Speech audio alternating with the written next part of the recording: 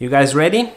Because there's just one setting that you need to change in your camera settings right now if you don't do it already. And I promise you will see insane growth over the next couple of months.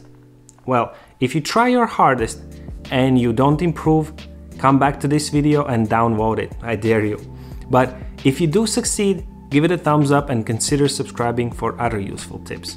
I went from these kind of pictures 8 years ago to something more like this. And here is one of the most important secrets that allowed me to achieve it.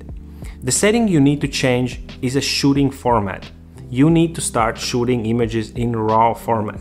And before you go, yeah, I've heard it before, whatever, just hear me out because in this video I will tell you not only how hard it is to switch, but also how extremely beneficial it will be for you as a photographer. And by the end of the video, I will reveal a secret that hopefully will allow you to discover a whole new world. Ready? Let's go. So, the RAW file is an uncompressed image, right? It contains the direct image data from the camera sensor with absolutely no loss of uh, any quality and alteration. So you use this format to store the fullest details of the captured images so that they can be edited as you want. That's why it is so important to shoot in RAW. It allows you to be more flexible and creative and that is the one biggest change that will allow you to be so much better as a photographer. However, there is a price to pay while shooting in RAW. Since you save all that information in uh, one file, the file size is much bigger. RAW can be even like 10 times bigger uh, compared to JPEG. It also involves more work since you can't just print or post RAW images on social media. They need, unfortunately or luckily, to be edited and for that you need the software. I'll tell you what I use by the end of the video. And yes, it is hard to master RAW because of the whole editing process. When you shoot in JPEG, you just you know post the picture wherever you want and you're done. RAW requires not only your photography but also your editing skills, and that is the reason why you actually grow as a photographer. Editing is as important as capturing the image. You see, when you shoot in JPEG, the camera captures the image actually in RAW, but immediately does editing for you and on top of that, it compresses the image and deletes all RAW data.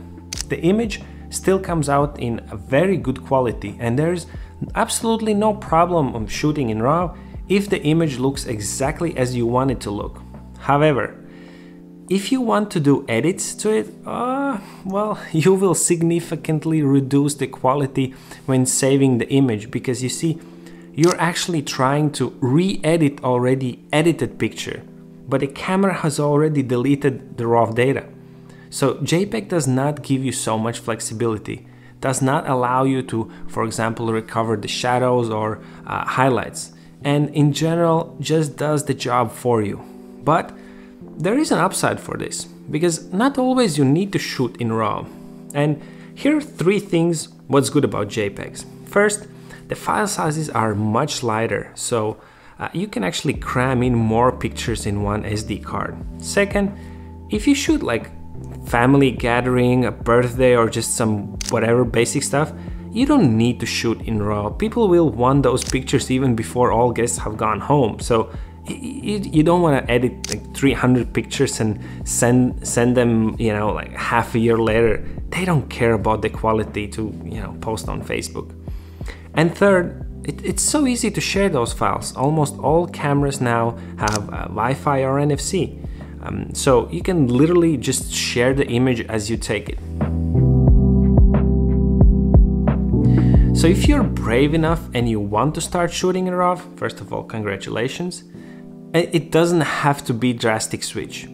What you do is you just set your shooting format in camera to RAW plus JPEG. It basically saves the original RAW file and the JPEG version of it alongside the RAW file without deleting it. I was shooting like that for good two years. I know, I know, I'm slow learner here, but you will manage it as well if I did.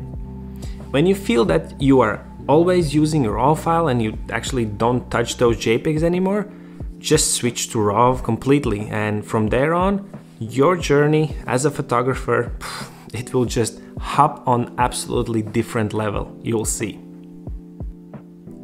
And before I reveal you one amazing thing about shooting in RAW, I just want to quickly mention about the software. Yes, shooting in RAW will require you to use an editing software. There's no way around it. I'm sorry, I didn't make the rules, okay? Uh, but there are a bunch of free online software such as GIMP, uh, Pixlr, and some others, as well as paid ones like the program that I use personally, and that's Adobe Lightroom Classic. And the final thing that for me was a discovery in photography itself. You can use presets. Oh my, presets are amazing. I should make probably a separate video about it, but you can, you should use presets on RAW images only, not on JPEGs. It doesn't really work out well. Uh, regarding the presets, you can create your own presets, you can buy them, or you can also go check them out on my website and get a bunch of them for free. So that is another great reason why you should start shooting in RAW.